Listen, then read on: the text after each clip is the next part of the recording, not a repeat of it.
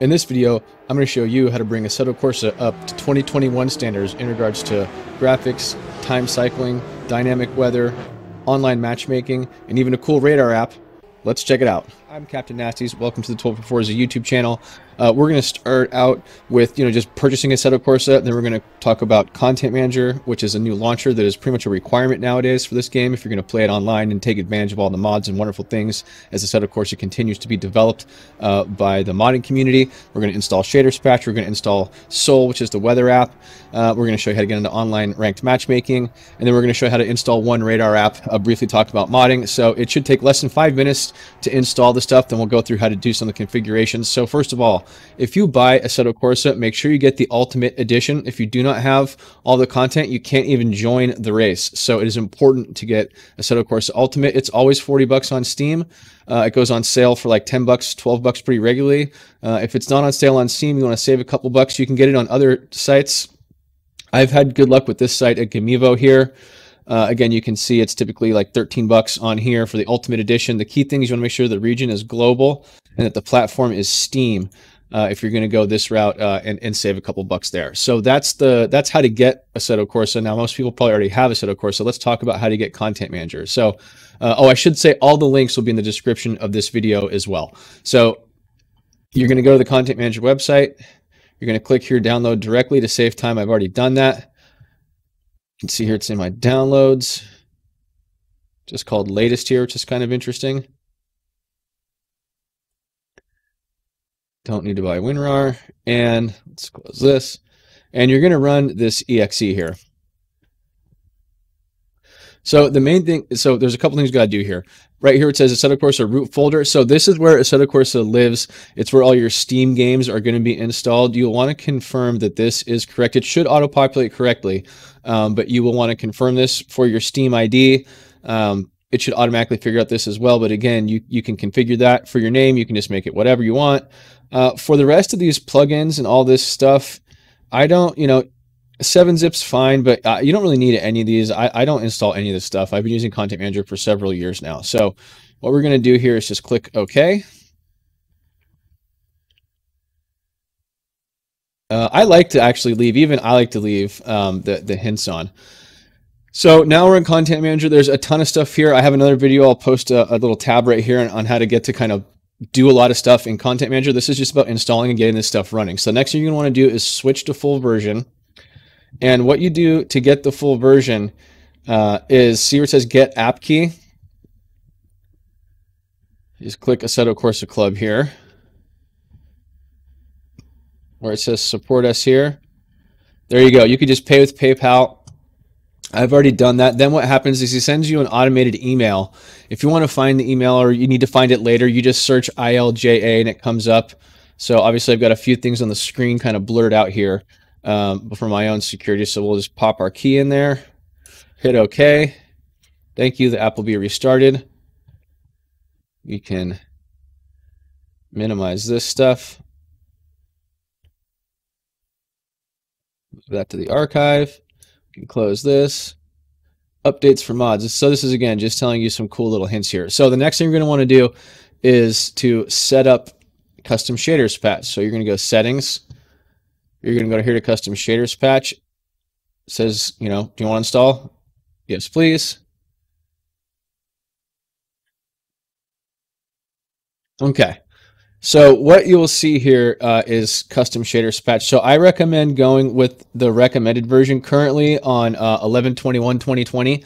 That is 1.60. There's they're always updating this stuff, and you can see that it, you know some of it's buggy, and the community kind of tests it. I like to just stick with the recommended version personally. Uh, for update automatically, you want to click do not auto update so it doesn't automatically do that. So that is essentially what you do there. Uh, I have another video on how to configure like all the different settings in Content Manager uh, for graphics and stuff. I'll post a, a, little tab to that video up here as well, so we don't uh, make this video like 45 minutes long. So now we've got custom shaders patch and we've got Content Manager. Let's go ahead and install Sol. So Sol is on Race Department and you can see here all you do is just click download. So again, to save some time on this video, I've already downloaded it. So we'll just go ahead and open that download. We'll go ahead and open the install guide here too, because this is something you're going to need to actually uh, pay attention to. So you'll see you got a folder here called mods, sol 1.62.155. And you're going to want to go back to that root folder. So this is kind of like how you mod Assetto Corsa. So, you know, if you need to find your root folder, you know, you don't know where it's at, you need to, you know, figure out where your Steam stuff is installed. So for me, it's on the D drive. I go to D drive, Steam, Steam apps, common. Open this up so you can see all that. And you'll see right here, Assetto Corsa. So this is where you're going to install a lot of your mods. I'll cover that later in this video, on just how to mod Assetto Corsa in general. But for Sol, we're going to take all of these four folders. We're going to drop them into the Assetto Corsa root folder, and they kind of distribute themselves the way they the way they need to. I'm going to replace the files. Sorry, click replace there. I know I kind of boogered that that whole deal up there clicking that. Okay, so we're not done setting up Content Manager or setting up a uh, Sol here. Open up the install guide. So we're going to keep the install guide on the side here. Whoa, on the side here. And then we're going to open up Content Manager like next to it here. Okay, so this is going to tell us a lot of stuff we kind of already know about what stuff we just did in terms of installing Content Manager. So it says essentially just drag those, you know, where we dragged them. And the first thing we're going to want to go here is to lighting effects. And you want to switch this brightness right here to 100. So make sure that's on 100. So the next thing here is, oh yeah, weather effects. So you got to make sure this is activated because that's the whole point of Sol, right? Is weather effects. Now for the script, there are two different ones. Uh, 1.61 here uses 3D clouds, and if you have a really dope computer and you're not in VR, then I, I recommend this for sure. If you're in VR, um, I have a 2080 uh, and a 9900K overclocked, and I still run the 2D clouds just because I like to have the headroom for other places in Assetto Corsa in terms of frame rate and turning up other settings. So I, I run it like that. Uh, let's see, what are they telling us to do here? Make sure the extension is active. And uh, I like to use if no date set, use original sun trajectory here, but that's not, not, not a too big of a deal. Okay, what's next here? Yeah, troubleshooting, we don't really need to worry about that. The next thing we want to do is go to content, sorry, settings, Assetto Corsa, video. Need to make this bigger. And you want to make sure that your post-processing filter, that it's enabled and that it's set, you know, that you select underscore sol is what you want to select there. So that's the next part of the install. What do you want us to do next here? Uh, this is like troubleshooting stuff and how to mess with the app in game. It's really not all that important right now. Okay, so this should already be set up like this uh, to begin with, but let's make sure. So if you go, what is this? Uh, track configs.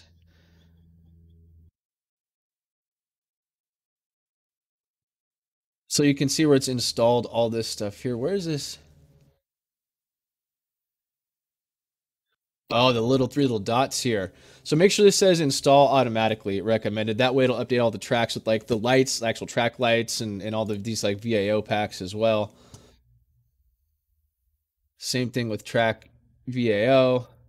Want to make sure that the install automatically is checked. Uh, for car configs, you know, same deal. So make sure that's, you know, for car configs install automatically. Video settings, okay, we already did that app settings. So this is so you can actually see the apps in the game. So the apps in the Assetto Corsa you cannot see until you're on the track and you've clicked start and you're either sitting in the pits or you've rolled out of the pits. You just scroll your mouse over the right side of the screen and you can change like what's actually on the screen like HUD and things like that. So we're going to go to settings, Assetto Corsa, apps, and we want to make sure that Sol Weather app is checked and Sol Config here as well, like it says in the instructions. Uh, the next one is going to be Content Manager Settings. We're going to go to Drive. And they want us to have overwrite default PP filter in VR. and then they want us to have only one of these. So only the bot you use custom weather particles do not have these other two checked uh, for extended weather. Now the rest of these are preferred custom shaders patch settings for Sol. Uh, let's just take a quick look here and see. Want to use the new paint shader. So this stuff is more optional, you know, essentially, essentially here. Uh, it, it's more about like tweaking the, tweaking some of the stuff. So again, for, this is really, we've got it installed. You're going to have time cycling. It's all going to work. We're done. And it looks like we're good to go there. So we've got, we've got the hard, you know, essentially the hard stuff done uh, with, with Sol, you know, shaders patch, content manager, all that good stuff. Uh, there's a lot to learn about this. The last thing I want to show you that's really important uh, is another app that I think is just like critical for Assetto Corsa. Uh, and it's called Helicorsa. So this is this car radar app. So let's go ahead and download this real quick because this one you install, it's a little bit funny how you install it. Oh, no, it's not. It used to be funny. It is no longer no longer funny. So again, you're going to go to your root folder and I recommend, you know, make a shortcut to that root. I don't know if I mentioned that earlier in this video, but you're going to want to make a shortcut to this common folder. So you can just click it right here and then bam, you're right in your root folder right from the desktop. So you're just going to select those two uh, folders and drag them into the Assetto Corsa root folder uh, to install Helicorsa there. And then that will uh, be done. Now, one thing you're going to have to do then is go into settings, Assetto Corsa apps and make sure that Helicorsa is checked. So it actually shows up as an app that you can turn on once you're on the track. So uh, that's the basics. Just Okay, so when it comes to modding Assetto Corsa, you can do it through Content Manager, but I'd like to honestly do it the uh, the manual way. Uh, I think it's just at the end of the day, I think it's actually more more straightforward once you learn how to do it because you don't have to worry about a mod not being packaged correctly and then not being installed correctly uh, by Content Manager. So, like we saw before, uh, if you have a content folder here, right, cars. So this has got some BTCC cars in it. Uh, you just drag this content folder into this Assetto Corsa root folder. So this is your root folder right here. Again, this is in that Steam Steam Apps common area. Uh, if you open up a mod download and it looks like this, it has KN5 files, you know, in it. So this is a track. Uh, then this one, you got to do a little bit more work. So you go into the Assetto Corsa folder and then you go to content. And if it's a track like this one is, you drag it into tracks if this was a car and you open it up and it had KN5 files and it didn't look like a content folder, then you just would drag it into cars. Uh, and that's it. It's it's real easy to mod Assetto Corsa. It's real easy to get going uh, on it. Uh, and it's just a, a, super great program. So now that we've got that stuff covered, let's take a look at how to get into online ranked matchmaking. So obviously there's, you know, just open servers for Assetto Corsa. If you just go to online here, a bunch of stuff is going to populate. You know, if you uncheck missing, it'll show you every server for stuff. You, so if you want to find servers that's like stuff, you know, that you've got, you're not going to find servers you can't get into, you know, click, make sure missing is not showing you tracks of stuff you don't have. You know, again, if you want to see the rest, this is really the only one that kind of matters for this. Uh, there's a refresh button down here, I should say, that's pretty important to know about. Uh, and there's also, if you click here, you can add it to favorites, which I, I really, really like to do as well. Uh, let's get into online ranked matchmaking. So for that, you're going to go to live. And you're going to go, there's two options right now. World Sim Series is a new one. Uh, it seems like, well, let's install that. Um, it's up and coming. I think it's going to be really cool, but it's just not, you know, I race a lot of SRS because it's been around forever. I've already got like a ranking and a rating on there and all that good stuff. Uh, so here's what World Sim Series looks like. Let's go to let's go to SRS over here. So if it's your first time in SRS, it's goofy to sign up for it, uh, and I'm going to try to help explain to you why. So what you're going to want to do here is click, you know, register. Right, you go through, you fill out all this junk, you click agree, you go through, you know, whatever the process is here. I already have a name, so I'm not going to go through that. But inevitably, what happens is your account will not actually get activated. So what you need to do is send an email to Enrique at simracingsystem at gmail.com and send him your name and you know ask him where your you know your activation link is and what i've been told recently is he's asking for uh, identification to sign up which sounds like crazy right well what he's trying to do is prevent people that have been banned from rejoining sim racing system so you know, you can cover up your address. All you need to have is your name and a picture of you on there, and he'll activate your account because he wants people to use their real world names so they can't just like drive like assholes and then get banned and then come back and troll people. So I know it sounds goofy. That turns a lot of people off. I get it if that's a deal breaker for you, but let me tell you, SRS is awesome. It's totally worth it. There's a really good, you know, community of people there, and there's racing every hour in a variety of different cars uh, you can see, you know, some of that stuff here. So that that's really about it, guys. Thanks for watching the video. Hopefully this was helpful. Hopefully it wasn't too long. My name is Captain Nasties. Uh, if you're over the age of 25 and you want to find some people to come and sim race with, come find us in Discord. That's what this is all about. This is Captain Nasties. Out.